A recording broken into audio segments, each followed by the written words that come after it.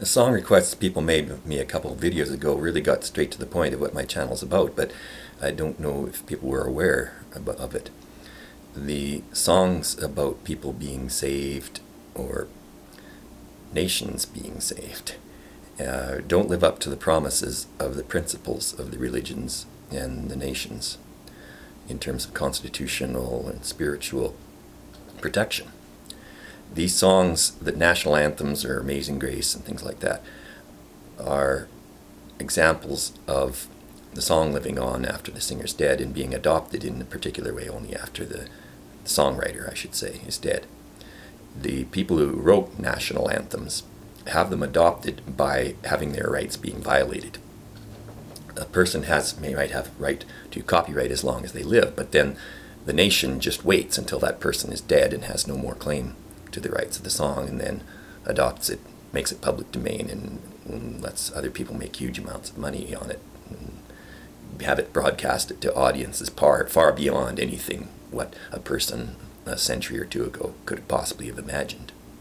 So the American, British, and Canadian national anthems are all much about the same thing. They're about violating the very principles uh, upon which their founding religions and constitutions are based, and that we should, I think, have a right to life, first and foremost, and inviolably. inviolably.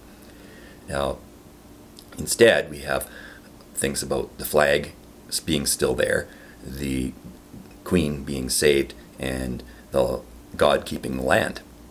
And so, all about these things the, the nation endures, but the person doesn't. And we symbolize that every time people get up and sing these songs.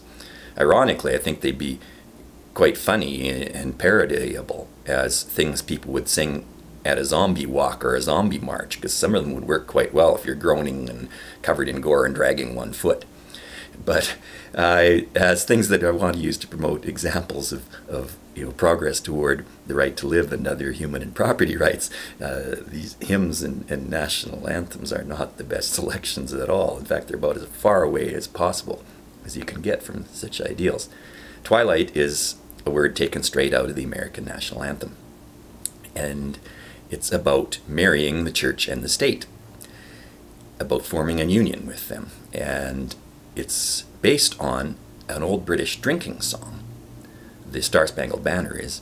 So it takes the feelings that people have toward each other when they're in part of a society devoted to wine, women, and song and redirects all of those toward the state. Canada's national anthem is perhaps even more so in that way. It starts out with moaning and then moves on to glowing and rising, watching each other rise, and standing on guard until the final climactic note of the song. It's a redirection of, of, of human emotion toward something that is not human and does not uh, defend the rights of humans as I see it in terms of their fundamental right to exist. In England, you have the Queen as the same sort of thing, much like a, a, version of Tangled. Actually, Tangled is all about saving the Queen at the expense of everybody else, having the means of, of eternal life promoted by singing being taken out of the public domain and redirected toward the monarch.